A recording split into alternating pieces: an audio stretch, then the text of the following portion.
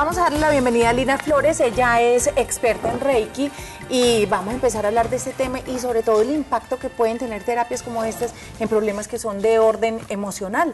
Eh, creo que todos tenemos, como decía Marce, un, rayoncito, unos más que otros y muchas veces necesitamos ayudas que vayan más allá incluso de lo, de lo visible para empezar a, a superarlos. Entonces en esta nota voy a invitar, te incluyo a ti Marce aquí de primera, a que abramos la mente a otras posibilidades eh, que existen y que pueden resultar supremamente útiles para la vida de las personas. O sea, para los médicos, para los ingenieros y para todos aquellos que por su profesión el pragmatismo no les permite, los invitamos a dejar el título en casa y permitir que nuestra experta nos ayude. Ay, no, yo abro la mente. Lo que pasa es que Lina me tiene que dar argumentos muy claros para yo para empezar a pensar. Pero conste que abre la mente, ¿cierto?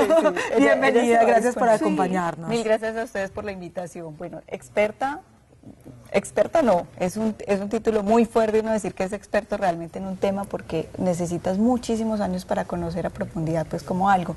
Yo llevo varios años, llevo cerca de siete años ya trabajando con el tema de Reiki y la verdad es que uno ve cambios muy profundos en las personas. Ahorita le decía presentemente a Marcela que ella es tomasina hasta no ver, no creer, pero con el Reiki hay un asunto y es que es algo intangible. Tú no lo vas a poder ver, eh, ¿cierto?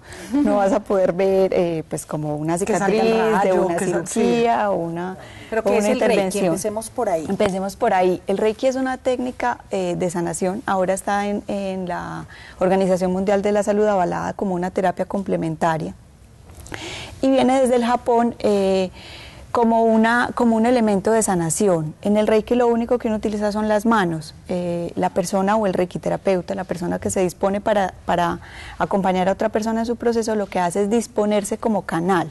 Todos tenemos la capacidad de sanar o de curar a otro, lo que pasa es que de alguna manera uno en el proceso de vida se va desconectando de esa capacidad interior, ¿cierto? Con el afán de la vida, con eh, elegir caminos. O la alimentación o la falta de como de conciencia corporal, uno se desconecta más o menos de esa capacidad innata que todos tenemos. Eh, uno en el fondo uno sabe realmente qué es lo que tiene, uno en el fondo sabe que te excediste en alguna cosa, que no te estás cuidando, que no estás durmiendo lo suficiente y aparece aparecen finalmente unas reacciones en este cuerpo físico, que es tangible que lo podemos ver y tocar.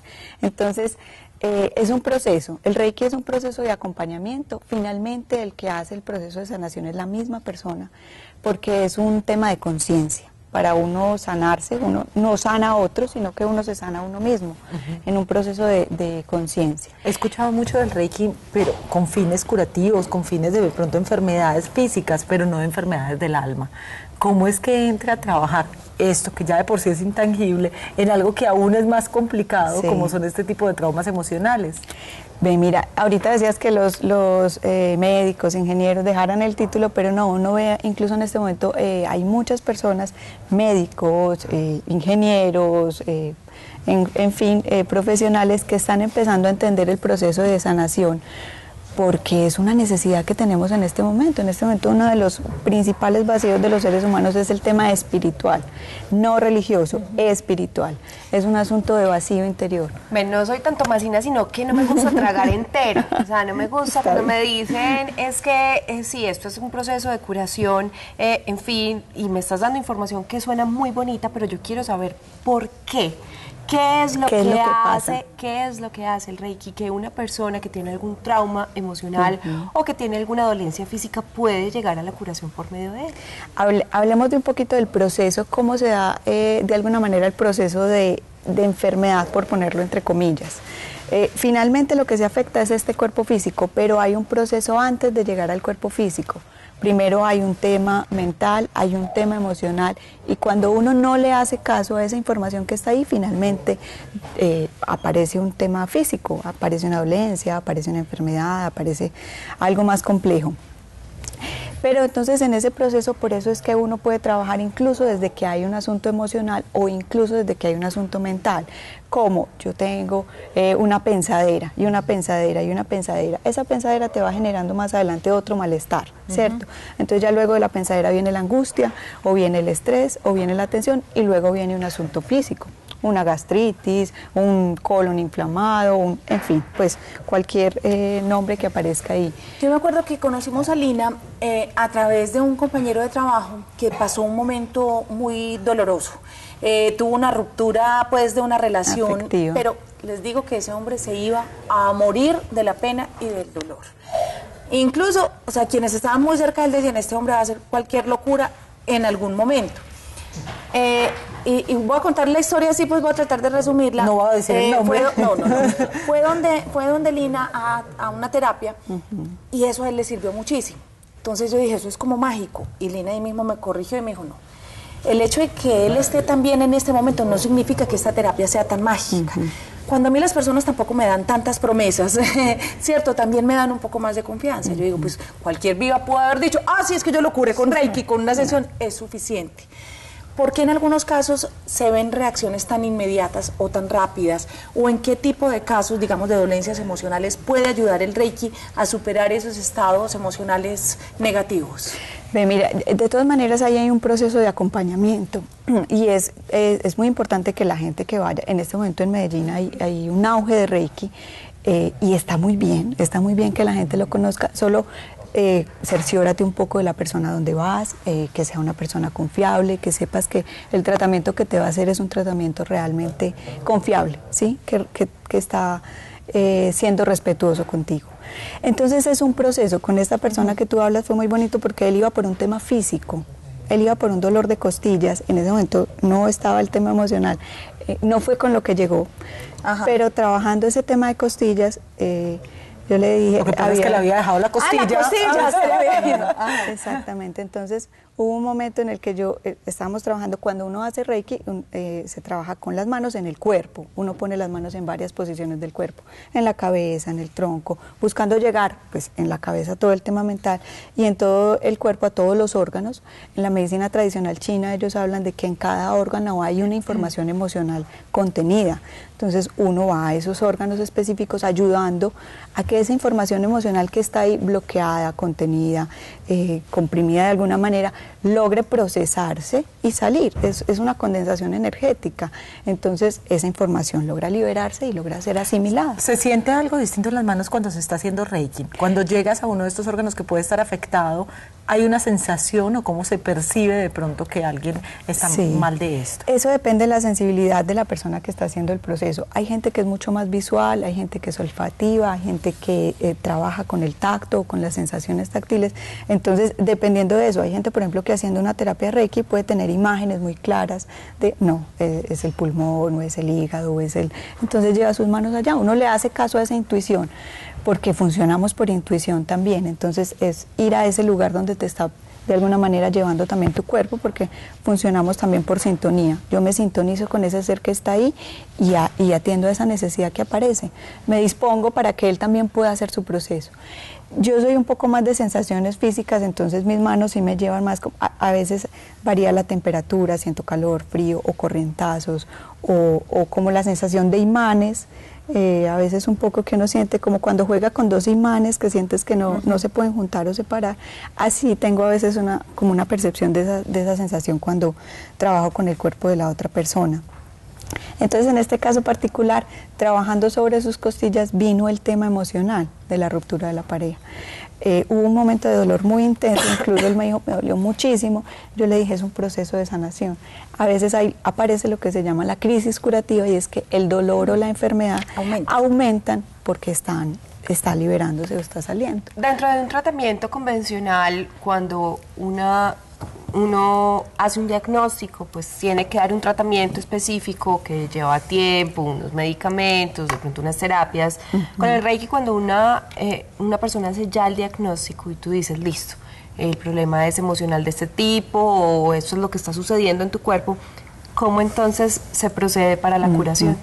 Eh, hay que ser muy respetuosos con la información que le das a la otra persona y Personalmente el tema de los diagnósticos me parece muy complicado porque tú el diagnóstico de alguna manera le estás entregando una manera de funcionar al otro. Por eso es que vemos a veces en el tema de la medicina alópata que es tan complicado los diagnósticos. Cuando alguien te dice te quedan tres meses de vida, tú lo tomas como una realidad y tomas tres meses de vida. Ay, pero eso es, eso es puro, eso es pura película de Hollywood. Eso, me quedan tres meses. Ah, bueno, de novela venezolana. Claro, pero me hay- quedan tres meses. hay- o mexicana. Hay personas que funcionan con esa información, entonces es muy delicado la palabra que tú le das al otro. Sí. Por eso uno trabaja con lo que Sobre el otro todo te porque trae. uno pone en el otro el conocimiento. Claro. Uno asume que es que a quien eh, está acudiendo uno es el que tiene el conocimiento. Entonces, si él Exacto. sabe y me dice, entonces eso, Yo eso le es creo, y, y no necesariamente, y no necesariamente. Hay que ser muy delicados con la información que le das. Ana Milena pregunta a través del Facebook que si este puede, o, o el Reiki puede ser una opción para las personas con adicciones. Sí, es una opción. De hecho, son procesos, eh, miran, cuando uno habla de un proceso integral de Reiki, habla de un acompañamiento de 10 sesiones mínimamente, porque es un proceso, ¿cierto? Entonces, igual, tú no puedes esperar que en una sesión de Reiki resuelves.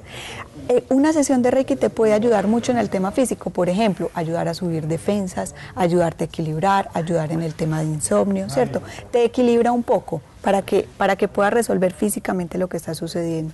Cuando hay problemas más largos eh, o, o como de mayor impacto, digamos adicciones, digamos una depresión, eh, otros temas emocionales, uno puede hacer un acompañamiento más prolongado en el tiempo, permitiendo que la persona también vaya adquiriendo herramientas. El, el Reiki también va entregando una cosa muy bonita que es la conciencia. Yo me voy haciendo más consciente de lo que me va sucediendo. Entonces eso me lleva a tomar medidas en mi vida, ¿cierto? Cuando uno habla eh, de consulta y esa duración que debe tener una consulta, por ejemplo, de la medicina convencional, con este sistema de salud dura 20 minutos y mucho. Y estamos Pero exagerando. los 18 minutos iniciales te preguntan nombre, ciudad de nacimiento, fecha, Y cuando a uno le llega un paciente mayor de 70 años en, cami en, en sillita de ruedas, uno dice, mientras se baja la silla de ruedas, se montó, ya pasaron los Ya 20 se le fue minutos. el tiempo de la no, No, silla. no, eso es una cosa espantosa, pero en el Reiki, eh, ¿qué, ¿cuál es el tiempo adecuado para una consulta? Se habla más o menos de un proceso de 45 minutos, una hora por sesión, por encuentro, ¿cierto? Entonces si uno habla de 10 sesiones, pues vas a tener como ese tiempo también. Pero ahí, ahí es una cosa muy importante que se nos ha olvidado en este momento y es el tema del vínculo con el otro el respeto con el otro ser humano que tú tienes ahí, que en este sistema de salud que tenemos lastimosamente se ha perdido muchísimo. Y finalmente el vínculo es lo que le permite al otro también sanarse. Cuando tú recibes a una persona para acompañarlo en un proceso, lo mínimo que debes hacer es mirarlo a los ojos, escuchar lo que te está diciendo, porque él necesita procesar esa información que tiene ahí pendiente. En defensa Entonces, de mi gremio, Lina, tengo que decir que uno en 20 minutos de verdad no alcanza, alcanza. a generar ese No alcanza. vínculo que debe tener con el paciente y mucho menos a cumplir además con todas Es que las obligaciones que es se tienen. desafortunadamente. o sea, no es lo- no. Es, es el sistema. no, Bueno, preguntan, aquí yo, yo sí quisiera hacer como que la claridad, porque a veces este tipo de disciplinas alternativas pueden crear en ciertas personas expectativas muy grandes Sí. e incluso falsas. Primero, nadie es inmortal. Exacto. O sea, si no, todos nos vamos a morir, todos nos vamos a Como morir. que no, a. Highlander, el de la serie. Yo- Hasta, No, pero hasta que el le dure la temporada. Exacto. No, y no solo eso, sino que no pues que le cortan el cuello y ya ahí sí se muere. ah, sí, sí, otro Exacto. inmortal. Exacto. Nadie es, nadie es Nadie es inmortal. inmortal. por un lado. Eh, nadie, nadie, nadie, nadie puede asegurarle a nadie la curación.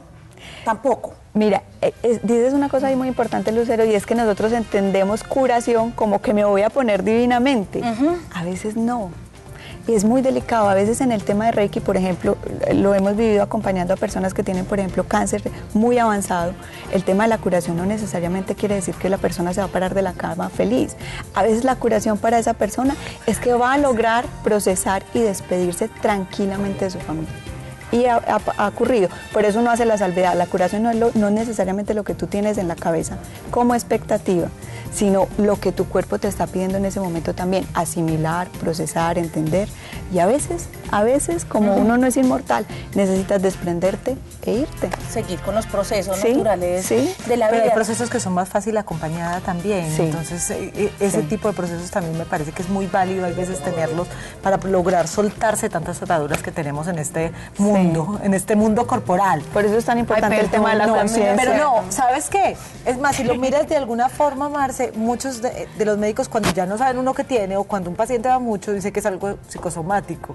No, Y pero es, que porque así realmente es. nuestra No, mente nos es que enferma. estamos de acuerdo. Claro, en eso sí, estamos de acuerdo. cierto. Lo que pasa es que eh, eh, el camino es, es, es lo que es diferente. O sea, obviamente hay emociones que afectan. Pero, pero lo psicosomático no quiere decir que no te duela de verdad. No, ¿Te duele? claro, duele. ¿Te claro duele? que duele, claro que enferma. Sí. Interesantísimo el tema, gracias por A acompañarnos. ustedes mil gracias por la invitación. Sí, te voy a pedir el favor porque hay una televidente que tiene varias inquietudes. Claro que Entonces sí. que nos ayudes y le respondas. Por a supuesto. cada Hay que una. hacer el computador. Ay,